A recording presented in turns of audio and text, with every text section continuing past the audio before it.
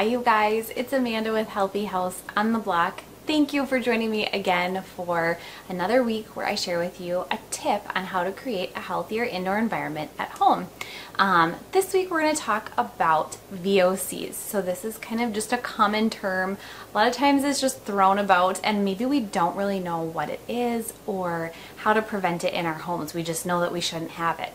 So we're going to do kind of a deep dive into this particular type of toxin. So there are, I'm going to share with you nine of the most common VOCs that are in the indoor air inside of our homes and how we can prevent those um, from being in our homes or how we can limit them. Um, exposure to VOCs is inevitable. They're outdoors and they're indoors.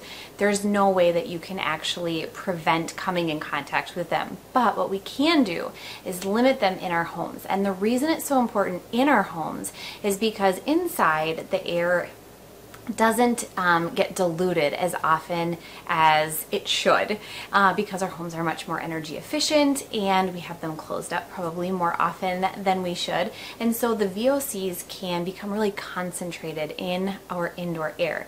And so what we want to do is limit the VOCs inside um, by you know, preventing bringing them in, obviously. But then there's also a couple other things we can do, like ventilate, to really dilute that indoor air. So I'm going to walk you through everything today. But first, we're going to talk about um, what are VOCs, where do they come from, and why they're important to limit in our homes when it comes to health risks. So there have been a lot of valid studies and research papers done that have linked VOCs to a variety of health problems um, depending on the VOC that is being off-gassed in the home. So it's really important that we pay attention to these to prevent things like increased risk of cancer, um, liver damage, kidney damage. I'm going to go through all of that in this week's slides. So why don't we get started? All right, you guys. So let's dive in. Um, I think a really popular term is VOC free, but a lot of times we just don't know what that is. So we're going to go over it in detail today so that we understand it um, on a, a higher level. And then we can also um, get rid of it and prevent it in our homes. I think we have to understand what it is, where it comes from, how it works in order to reduce it. So let's get started here. First, I think let's um, let's find out what are VOCs, right? Um, so, what are VOCs? Certain products in your homes, both solids and liquids, can emit a gas called a volatile organic compound.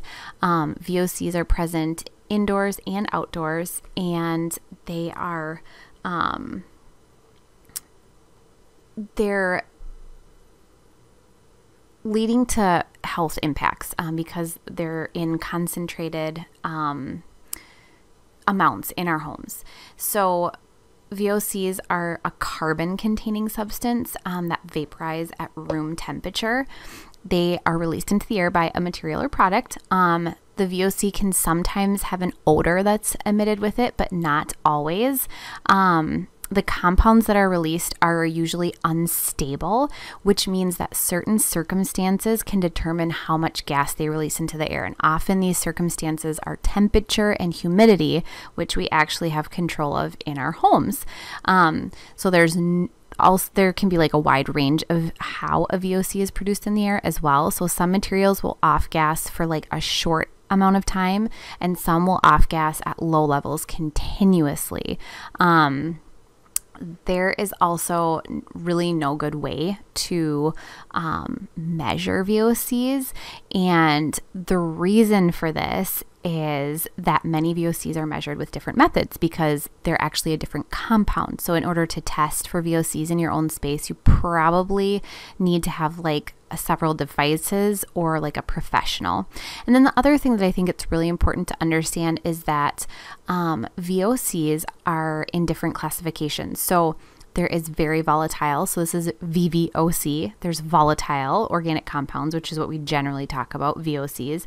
And then there are semi volatile um, organic compounds. And the classification is based on like the volatility of the compounds, which is based on their boiling point, and then this determines how much they off gas under normal air pressure. Um, I think it's also important to point out that the problem with VOCs uh, in general is that the level indoors is often two to five times higher than outdoors. Um, so now that we know what they are, let's take a look at where are they coming from. Um, there are hundreds of VOCs both in nature and in our homes. Um, and there are some VOCs that are more harmful than others because they exist at room temperature, which means um, we're almost always being exposed to them. These are often the VOCs that we talk about in our homes, and that's what we're going to talk about today. So, where do these VOCs come from? First, let's talk paint and stains. Um, so, paint, stains, and varnishes are commonly they commonly all contain VOCs. Um, they typically off gas with an odor emitted, but not always. VOCs are used in these products to improve the quality of the product as well as the performance. And generally, these products off gas the most while they're being used, um, but they can emit low levels of VOCs constantly. Um, most products list the level of VOCs that are emitted um, from the they're on the product label. Um, and you can find that out like on a paint can or something like that.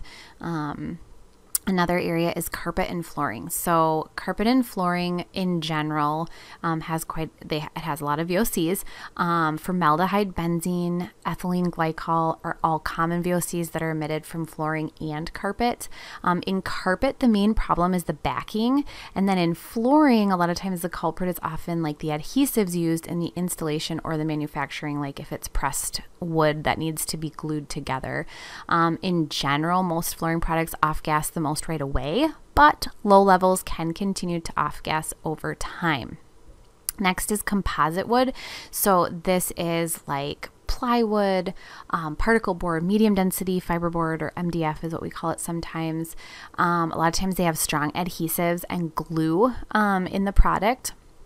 Formaldehyde is um, what is used to ensure the product's like durability, um, and it's one of the more known VOCs that can off gas for years after it is um, made. And um, composite wood is used in so many applications in our home, um, from like the building materials to our furniture, that we're being constantly exposed. I share in this week's blog post um, a link to another post I did that goes through some alternatives to healthy composite wood products that use um, things other than strong solvent adhesives that contain VOCs if you're interested. Um, and then the next one is cosmetics and perfumes. So um, let's think like synthetic nail, po- uh, synthetic fragrance, nail polish, nail removers, hairsprays, hairstyling products. They all contain VOCs. Um, these types of products generally emit VOCs the most when they're being used, but they can also um, off gas while they're being stored. Usually, the VOCs present in cosmetics are toluene, um, ethanol, xylene, and acetone.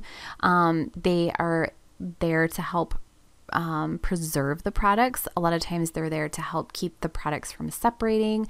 And then some VOCs are added to help the product adhere to like our skin and nails. So think like nail polish and hairspray. Um, and then adhesives and glues is, we kind of talked about this a little bit with the composite wood, but this is another big one in our homes. So, um, anything from craft glue to industrial adhesives usually contain VOCs. The most common VOC in adhesives and glues is formaldehyde and nitrogen oxides, which generally off gas the most during the curing process um, while the product is drying. VOCs um, help the product be a little bit more like easily workable. Um, they help it to be more fluid. Um, and then again, in the building process of our homes, many of these strong adhesives are used in a variety of applications. And so we're being exposed all the time to these VOCs. Um, the next thing is air fresheners and synthetic fragrances. So, this is a big one, and it's usually a pretty easy one to get rid of in your home. And I um, link a full blog post on how you can do this in your own home um, in this week's post. So, fragrances are in so many of our everyday products. We probably don't even realize it. Um, there was a study done on like 25 different scented products, and it showed that the average number of VOCs being emitted from just one product is 17 different VOCs.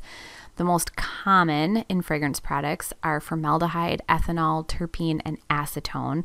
Um, these VOCs are likely something you're being exposed to if you smell the fragrance, but again, not always. Um, and then let's look at upholstery and foam. This is like foam mattresses, um, foam in upholstery, but formaldehyde is again the most common VOC in furniture and foam. Um, benzene, methyl chloride, and toluene are also commonly used in foam. A lot of times it's that protective coating that's added to upholstery, which makes it more stain and moisture resistant. That's the problem. Um, and these products are the most concerning because it's been found that VOCs in furniture foam off gas much more when the material is warm and when the material is in a humid climate, which our bodies produce moisture and um, heat, and so it makes a really conducive environment um, when we come in contact with furniture and foam in mattresses and cushions for it to off gas. And then the last thing is cleaning products. Um, this is along the lines of like our cosmetics, but cleaning products. Um, it's a pretty broad term, and so the list of types of VOCs is almost endless when it comes comes to this type of product. Um, the products are similar to beauty products again, that they mostly off gas while they're being used, but they can also emit VOCs when being stored. Um, formaldehyde is often used as a preservative in cleaning products, um, and then other VOCs are used to improve the product's function as well as cover up some of those chemical odors. Um, so let's take a look at the top nine VOCs that are found in homes. Um, these are the big ones that we can try to avoid. So, first, let's take a look at ethanol. Um, ethanol is the most common VOC in cosmetics, beauty products, um, and it helps to clean the skin and acts as a preservative. It's been linked to um, respiratory issues, and um, it help the VOCs are there to help it like adhere to the human body. So a lot of beauty products is what we can think about. Um, next, let's take a look at formaldehyde. Um, this one is probably the most common VOC that we talk about and the one that we know probably the most about. Um, it's used in a variety of applications from personal products to building materials. It acts as a preservative and as a bonding agent and has been linked to lifelong health issues with your sinuses, chronic respiratory system problems. Um, it's also a human carcinogen. Um, so that's one we really need to pay attention to because we are in contact with it a lot. Uh, the next one is methylene chloride. This is found in like a lot of varnishes and coatings. It can cause chronic dermatitis, um, also permanent nerve and liver damage. It's a possible carcinogen to humans, um, but they do need to do some more research on that one. And then let's take a look at acetone. This is one of those beauty products, um, or we see it a lot in beauty products. It is. Um, most commonly used as like a nail polish remover. Um, it is used to reduce the viscosity of solutions um, and it also helps blend a variety of solutions together. Uh, acetone can cause issues with the blood as well as damage to the kidneys, liver, and nerves. So it's one we really want to steer clear of. Um, carbon disulfide is the next one, and this has been linked to reproductive effects, um, things like decreased sperm count, disturbances in the menstrual cycle. Um, it also has been linked to neurological effects, resulting in behavioral changes. Now, everything that I'm giving you as a health concern is linked in this week's blog post by um, to a source that um, has like a research paper linked to that. Um, so this next chemical, um, dichlorobenzene, is usually like a repellent for insects, rodents, a deodorizer um, for bathrooms, and like diaper pails a lot of times. Um, it's been linked to negative effects in the lungs, and then um, it creates problems with the blood cells and specifically red blood count. Um, it can also cause damage to the liver and kidneys. And again, those those studies are linked in this week's um, post. Toluene is another one. It helps dissolve thick substances. It is a human carcinogen. Um, it has been linked to chronic effects on the central nervous system, like tremors, involuntary eye movements, impaired speech, hearing, or vision, just kind of a slew of things that we don't want to happen in our bodies. So let's take a look at xylene. Um, xylene is uh, it's used in many glues, cleaning products, paints, sealants. Um, it's linked to chronic dermatitis, depression, headaches, um, insomnia, inabil- irritability, um, damage to the kidney and livers. It also has been linked um, to being a human carcinogen. And then last, we're going to talk about benzene. Um, benzene is a very common VOC. It's highly flammable. It can cause anemia and issues with bone marrow, and it also is a human carcinogen. So these are the nine big ones that we can avoid um, when we're looking at all the products that we talked about before as well. So let's wrap it up with looking at how to reduce VOCs in your home. I have four very simple ways that we can um, really work to minimizing VOC exposure in our home. So, first is to buy VOC free. This looks like um, being educated, doing your research before you buy. You can get low VOC, you can get zero VOC. Um, a lot of paints, varnishes, and sealers have VOC emissions labeled right on the can. Um, you can also look at Green Guard certified products, and um, you can also shop at stores or brands that support a more healthy lifestyle, like limiting VOCs. The ones I have listed, and I have them linked in this week's blog post if you would like them Thrive Market, ECOS Paints, Green Design Center, Mighty, Des- Mighty Nest, um, and Avocado Mattress. I also, in this week's blog post, um, listed out a couple bigger purchase um, items that you might want to do research on that I have done the research for you on. So, this would be mattresses, couches, flooring, plywood, adhesives, cleaning products, and paints. And those are all linked in this week's blog post if you follow the link. The other thing you can do at home is ventilate. So, escaping all VOCs is nearly impossible. And because of the nature of our energy efficient homes, um, there's always going to be a level of VOCs in our house. Ventilating your home by opening windows and doors on a regular basis, as well as running vented fans or air to air exchangers if you have them, is the best way to get. Um, fresh air in and push toxic air out. Uh, creating more and more air exchanges in your home is the best way to dilute toxin concentrated air in your house. Um, another thing you can do is some climate control. So we know that air that is warm and has and is high in humidity levels creates um, an environment where VOCs will off gas at a much higher and more frequent rate. So keeping indoor relative humidity between 35 and 45 percent is ideal, not only for VOC emissions but also for um, mold and dust mite control as well. And then the last thing you can do is um, purify your air. So I talked about this last week um, in detail, I shared with you that I use Medify Air, but um, VOCs like formaldehyde um, specifically can be reduced with indoor air an indoor air purifier. You want to get one that has a medical grade HEPA filter or um, sometimes it's called a true HEPA 13 Medify Air has this so it filters out 99.9% of all particles down to 0.1 microns. Um, and so I have a coupon code um, in last week's blog post that you can find. I have it linked um, in this week's blog post if you would like that, if you're looking to get an air purifier to help with some of these VOC emissions. Um, but understanding what VOCs are and their health effects is the first step to reducing the toxins in your home. And by reducing VOCs at home, you can begin to create a healthier indoor environment that supports your health and your wellness at home. You guys, thank you for joining me this week. Um, I hope that you were able to take some sort of useful information away from this, and I hope that you're able to make a change in your house to improve the indoor air quality and limit VOCs inside your home.